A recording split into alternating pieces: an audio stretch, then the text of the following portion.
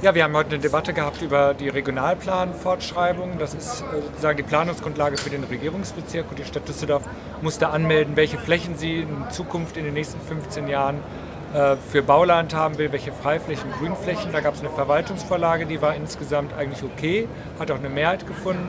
Wir haben aber einen Ergänzungsantrag gestellt und haben gesagt, die äh, Wohnungsbaureserven, die wir haben, die reichen nur noch fünf Jahre und wir müssen eigentlich jetzt auch gucken, dass wir in der Stadt bei der Fortschreibung vom Stadtentwicklungskonzept Düsseldorf eben auch äh, schauen, wo wir die zusätzlich notwendigen äh, Wohnungsbaureserven herkriegen. Es hat keine Mehrheit gefunden, weil Schwarz-Gelb sagt, das würden sie schon machen.